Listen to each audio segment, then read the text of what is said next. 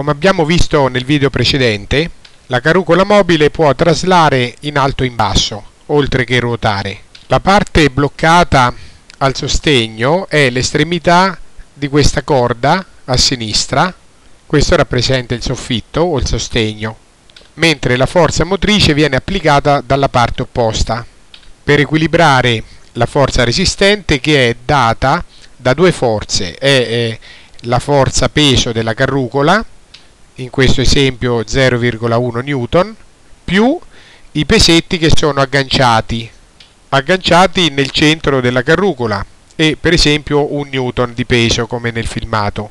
La cosa importante da capire è che il centro di rotazione istantaneo non è il centro della carrucola ma è questo punto O che si trova qua sul bordo. Infatti la carrucola può ruotare in senso orario antiorario, se ruota in senso orario si abbassa, il suo baricentro scende, ruotando però attorno a questo punto, esattamente come farebbe una ruota che rotola giù da una parete, mantenendo però sempre il contatto con la parete stessa in questo punto. Un attimo dopo, quando la carrucola ha ruotato un pochino, questo punto scende un po' e si abbassa continuamente eh, traslando verso il basso. Viceversa, se la carrucola viene fatta ruotare in senso antiorario perché la forza motrice solleva questo cavo, allora il centro di rotazione istantanea sale progressivamente. La carrucola in pratica è come una ruota che corre e questa è come se fosse una strada. Il punto di contatto si muove sulla strada sia in alto che in basso, quindi questo è il fulcro, infatti il fulcro è quel punto attorno al quale può ruotare eh, ruota l'intero corpo rigido. E tutta questa carrucola quando scende e quando sale non ruota intorno al centro ma ruota intorno a questo punto fisso qua. Per esempio quando scende tutta questa carrucola ruota intorno a questo punto così. Quando invece la carrucola sale tutta quanta la carrucola ruota sempre intorno a questo punto in senso antiorario quindi questo è il fulcro. Allora i bracci vanno eh, misurati a partire da qui e non dal centro.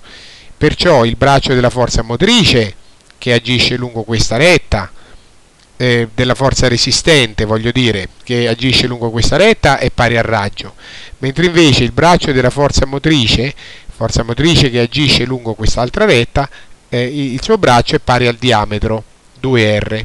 Perciò la carrucola mobile è una leva vantaggiosa di guadagno 2 perché il braccio della forza motrice è il diametro, è il doppio del braccio della forza resistente che è il raggio. Del resto che sia una leva vantaggiosa è ovvio perché è una leva di secondo genere.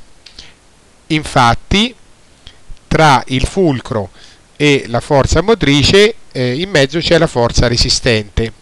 Siccome la forza motrice ha un braccio doppio rispetto al braccio della forza resistente, allora la forza motrice può essere la metà, eh, eh, la metà intensa rispetto alla forza resistente che è in questo esempio 1,1 newton, cioè la somma dei pesetti e del peso della carrucola.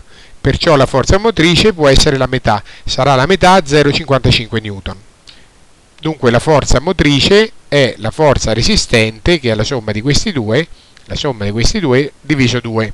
La forza vincolare innanzitutto va applicata nel fulcro, quindi non nel centro della carrucola ma nel punto O e il suo valore è, è sempre uguale a quello della forza motrice, come indicato qua, proprio perché la forza motrice è la metà della forza resistente.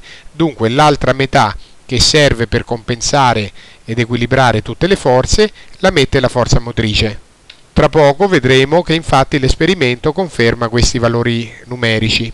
Infine notiamo che la carrucola mobile è rovesciata rispetto alla carrucola fissa, cioè questo supporto diciamo, è rivolto verso il basso e a questo supporto si agganciano i pesetti, mentre invece nella carrucola fissa il supporto era rivolto verso l'alto e serviva per agganciare la carrucola e fissarla al sostegno.